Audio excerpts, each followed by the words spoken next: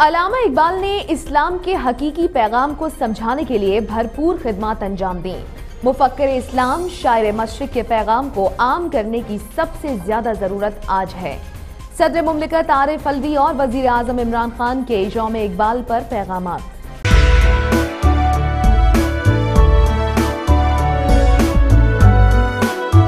صدر مملکت ڈاکٹر عارف الوی اور وزیر اعظم عمران خان نے شاعر مشرق کو شاندار الفاظ میں خراج عقیدت پیش کیا ہے۔ علامہ محمد اقبال کے جوم ولادت پر صدر ڈاکٹر عارف الوی کا اپنے پیغام میں کہنا تھا کہ علامہ اقبال نے بر صغیر کے مسلمانوں میں ایک نئی روح پھونکی۔ شاعر مشرق نے بر صغیر کے مسلمانوں کے لیے ایک نئے وطن کا نظریہ دیا۔ علامہ اقبال نے اسلام کے حقیقی پیغام کو سمجھانے کے لیے بھرپور خدمات انجام دی اختلافات کو پس پش ڈال کر پاکستان کو درپیش مسائل کے حل کے لیے محنت کریں۔ آئیے اپنے اشتہاد کے خواب کو پورا کرنے کے لیے مزید محنت کرنے کا عزم کریں۔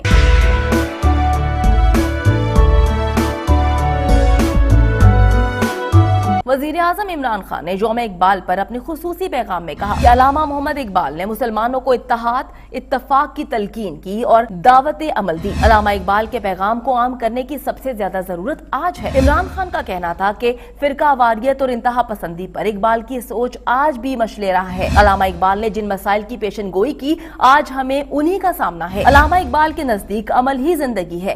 خودی پر عمل سے پاکستان کو اقوام عالم میں اصل مقام دلا سکتے ہیں۔